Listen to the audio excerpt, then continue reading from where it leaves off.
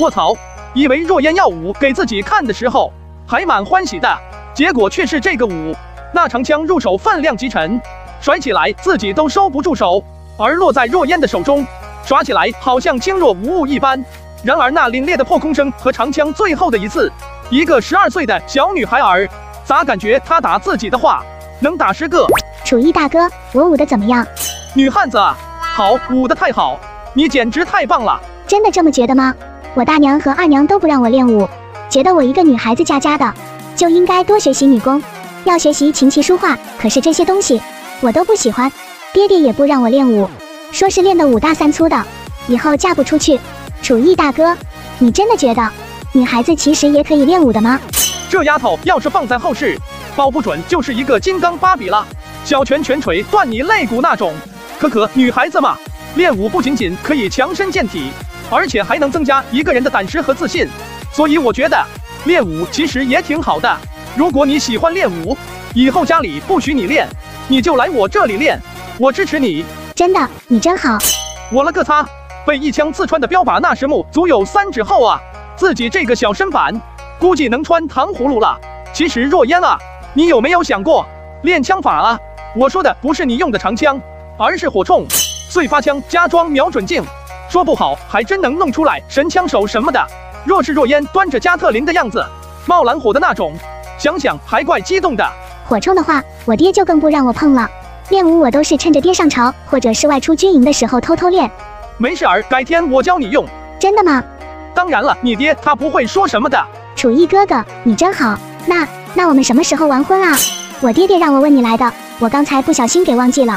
可可，若烟啊，我们两家的婚约虽然已经算是定下了，但是你现在年纪还太小了，等你再长大些。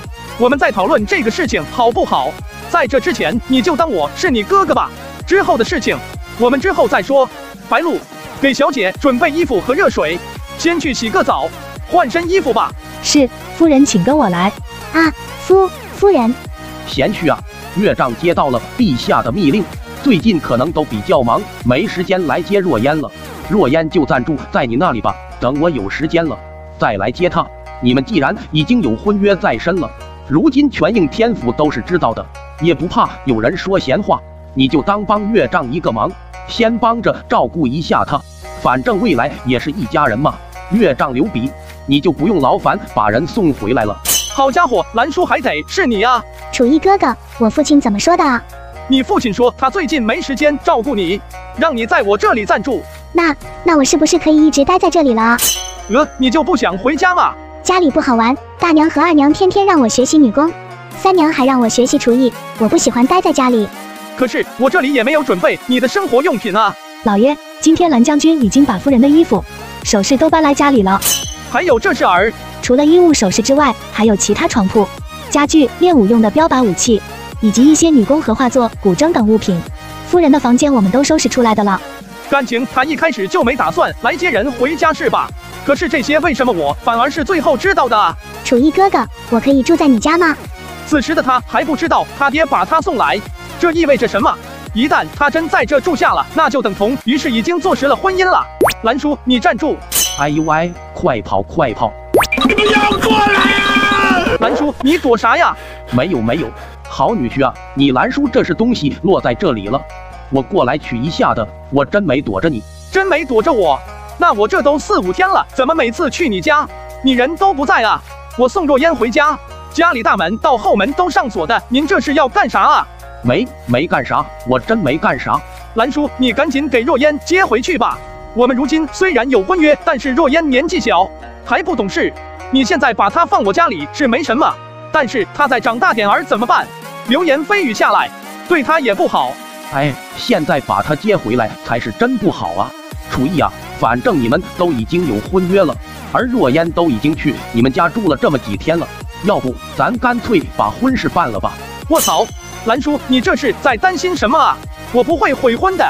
现在若烟年纪太小了，我这是为若烟好。